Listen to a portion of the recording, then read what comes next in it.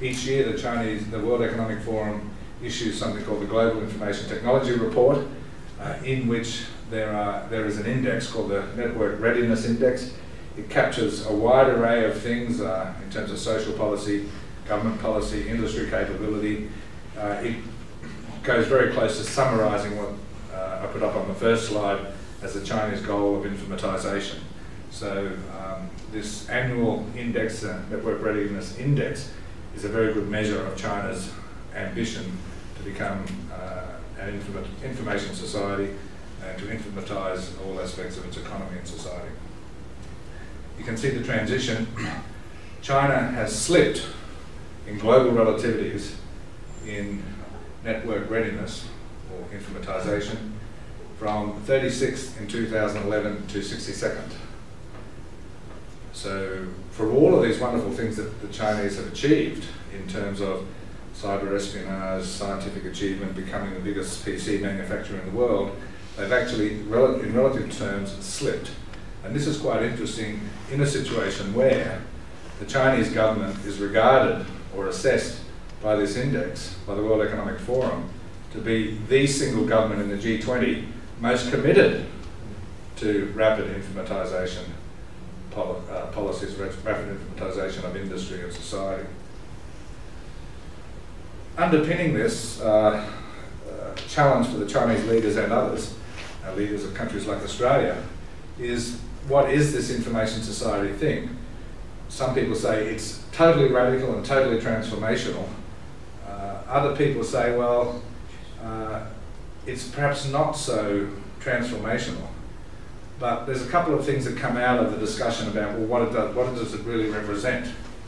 And one is that almost everybody in the world accepts that the information society is not a technological phenomenon, it is a social and values-based phenomenon. And if you don't have the values right, you don't get the technology right.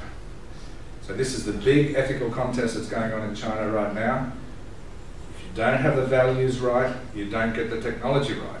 That's why China has slipped, and it's why Australia has slipped, because we don't have the values right. Anyway, so that we've got this scene of, in the world, of a debate about is this informatization ambition totally transformational? Does it impact on everything, and in what way does it impact? Well, it impacts uh, on values, and what we found in the case of China is that there's an inevitable dialogue with the world on values for the information age. And since China adopted the policy of becoming an information economy in 1993, and then in the year 2000 adopted the policy of becoming an information society in the year 2000, it has become engaged in, a, in an escalating ethical debate with its citizens and the rest of the world about the values of the information society. That debate is escalating every day we can look at signs of crackdown in China, but the signs of the crackdown are in reaction in part to the escalating ethical debate.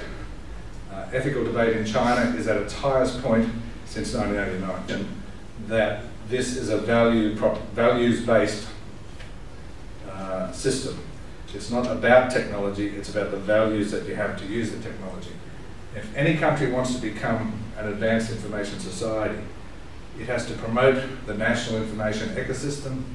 It has to promote an innovative information-based economy. And it has to participate in the global information ecosystem. And I think as you sit here and you look at those, you'll all sort of um, have different uh, reference points and to, to understand those. But imagine that we're accepting this radical view of transformation, that information technology changes everything, then you can't have an information-based society if you don't have freedom of information. That may sound like an old human rights thing, it's not. It's a functional, utilitarian analysis. You can't have an advanced information society, an advanced technology country, if you don't have freedom of information. It's that simple.